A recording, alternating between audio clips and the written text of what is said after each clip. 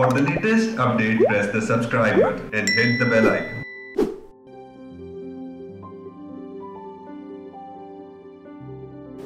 पाकिस्तान में हमारा इशू ये है कि कैंसर डायग्नोस बहुत ज़्यादा लेट हो रहा है। तो हमें चाहिए कि हम इसमें स्क्रीनिंग प्रोग्राम शुरू करें। अब स्क्रीनिंग क्या होती है? स्क्रीनिंग दो तरह की है।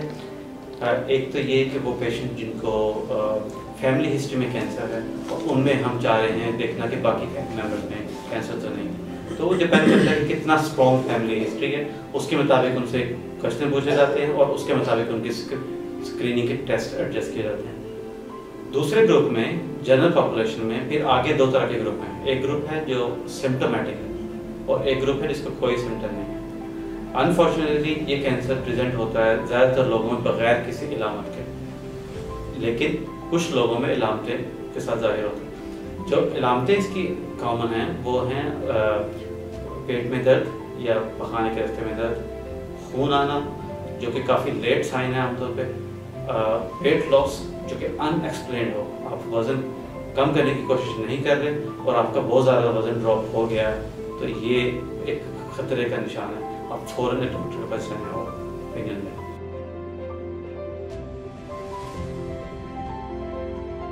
कोलोरेक्टल कैंसर के स्क्रीनिंग के मुख्तलिफ़ तरीके हैं एक तो होती है जनरल पॉपुलेशन स्क्रीनिंग जिस तरह इंग्लैंड में पूरे सर्वेलेंस प्रोग्राम है, जिसमें हम पेशेंट को स्टूल किट भिजवाते हैं, और ये एज क्राइटेरिया चेंज होकर फिफ्टी ईयर्स हो गया।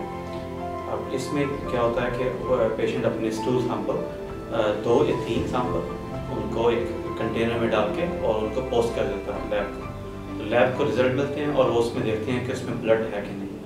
इस स्क्रीनिंग मेथड के कुछ फ़ायदे हैं कि सस्ता तरीका है, लेकिन इसमें और इसमें कैंसर भी डायग्नोज हो जाता है। लेकिन अगर कैंसर उसको ब्लीड नहीं कर रहा तो कैंसर पिक नहीं होगा।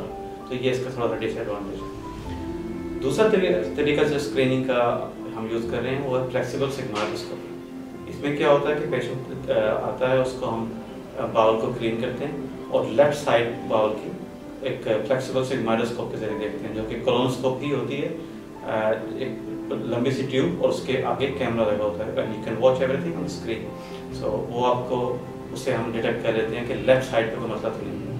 तो इस तरीके का यह फ़ायदा है कि पूरी कलोनोस्कोपी नहीं करनी पड़ती, लेकिन नुकसान ये है कि आप सिर्फ़ लेफ़्ट साइड के कैंसर ही पिक कर सकते हैं, और राइट साइड के नहीं कर सकते। तो अगला तरीका जो स्क्रीन का है, वो है कलोनोस्कोपी, जो कि टेस्ट मेथड है। इसमें आपको बाउल प्रेप मिलती है we clean you fully inside and then we do your camera test full colonoscopy और इसमें सेम कैमरा यूज़ होता है, इसके आगे ट्यूब के आगे कैमरा लगा होता है, और इसके अंदर फ़ायदा ये है कि हम पूरी की पूरी कॉलम देख लेते हैं, और कहीं भी कैंसर हो तो वो डायग्नोज कर